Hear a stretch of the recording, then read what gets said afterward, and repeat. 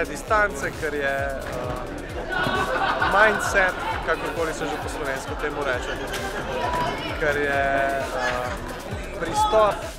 You, you find everything here. Tukaj kje pa zakon.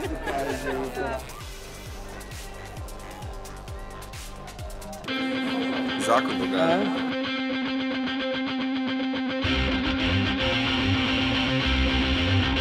This was my first time. I did. I was gonna come a few, uh, last year, but I was reluctant to come because I didn't want to spend money on training, to be honest. But after having done it, done it, I am sorry that I didn't come before. And now, now I'll come every year.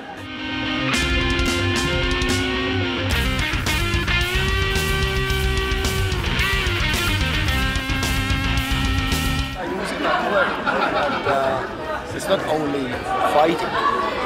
Uh, self-esteem, confidence, confidence. Yeah, it's uh, all combined. All combined. Discipline, respect. That's it. That's why we wear gi.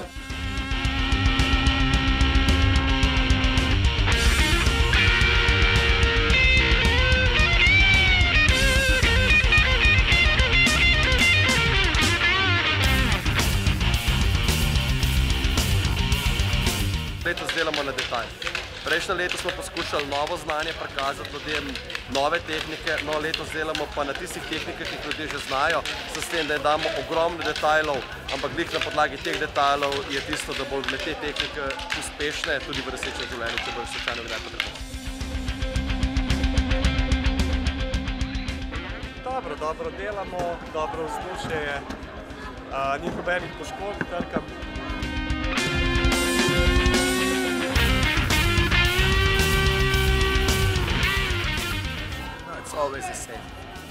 Great people, same energy. Yeah, it's fun.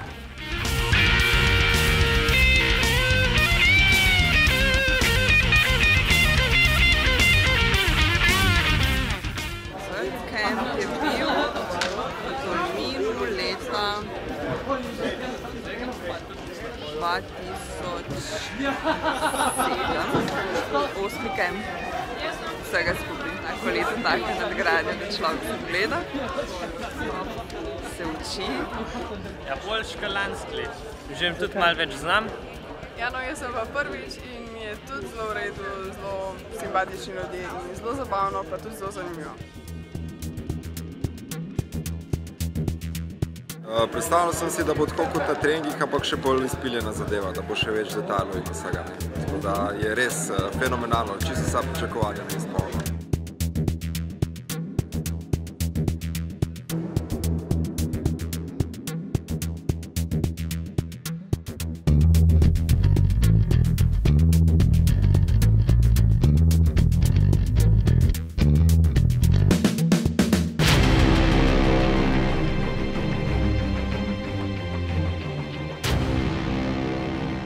Kettlebell kot šport, pa borilne veščine nimata prav dosti skupnega. Ne? So pa določeni gibalni vzorci, ki jih lahko uporabimo za oba športa. Ne? Se pravi, iz kettlebell liftinga, če prenesemo vzorce v borilne veščine, potem bi lahko določene vaje, vem, serije vključil v trening borilnih veščin, ki bi pol pomagali pri sami borbi določenemu borcu, ne? da bi bil močnejši, bolj eksploziven, bolj fleksibilen. Pri strečingu je treba razumeti, da ne raztegujemo mišice, ne? da tudi tle ne smemo pretiravati oziroma delati neumnosti in da če se te strečinga v bistvu, ali pa fleksibilnosti lotimo pravilno, lahko zelo hitro napredujemo. Ne?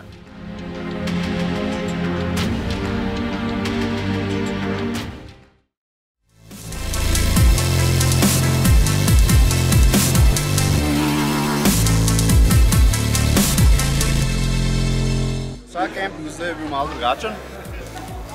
Prvi mi je bil najbolj spominu, da smo bili ful izčrpani.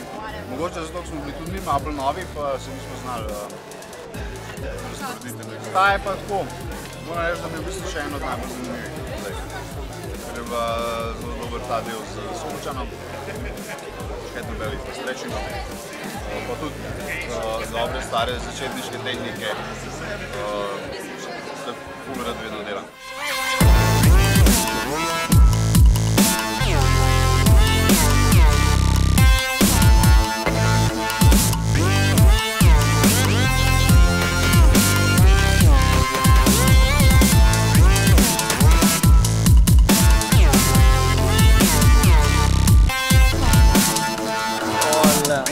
Sound system, and uh, we play, we dance, we drink, we enjoy. Yeah, it's fun.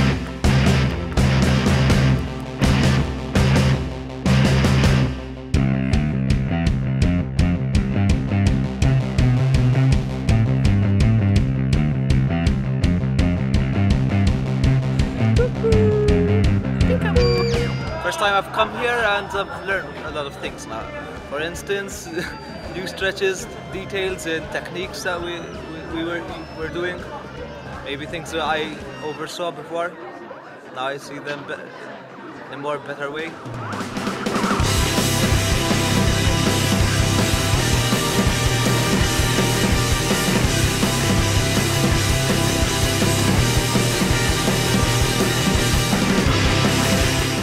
Super, jaz mislim, da ljudje napredujejo, fenomenalna energija. No, danes bo pa poslastica, po mojem, za čisto vse, ki jih zanimajo borilne veščine.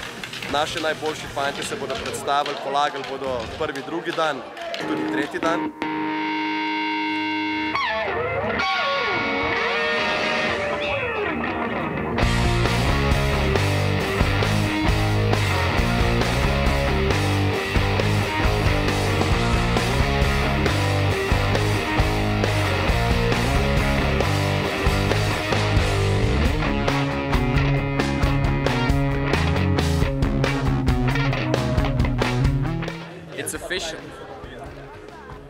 That clock is wrong.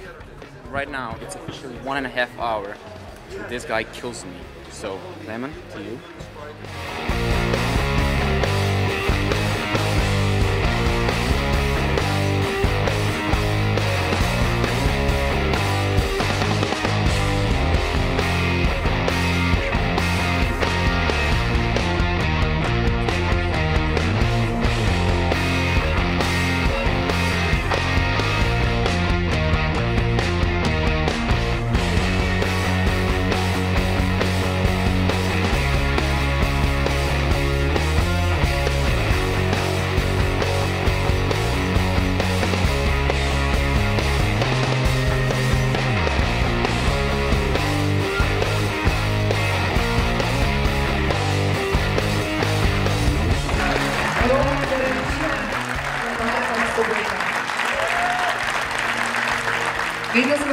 Čas, da je Kempo neke vrste zavetje, hiša enako mislečih ljudi, kjer drug za drugega stiskamo pesti in se podpiramo.